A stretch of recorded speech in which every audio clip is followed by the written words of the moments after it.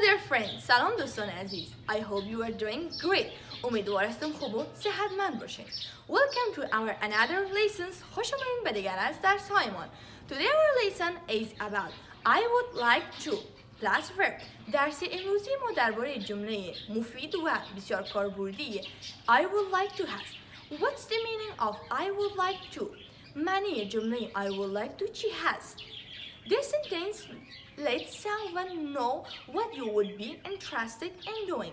این جمله اجازه فهمیدن ای که شما در انجام دادن چی چیزی علاقه دارین رو به دیگران میدهد.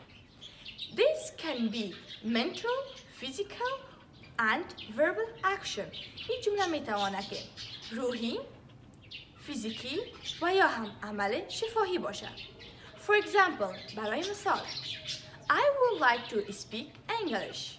من خوش دارم که انگلیسی صحبت کنم. I would like to meet with them. من خوش دارم که همراه آنها ملاقات کنم.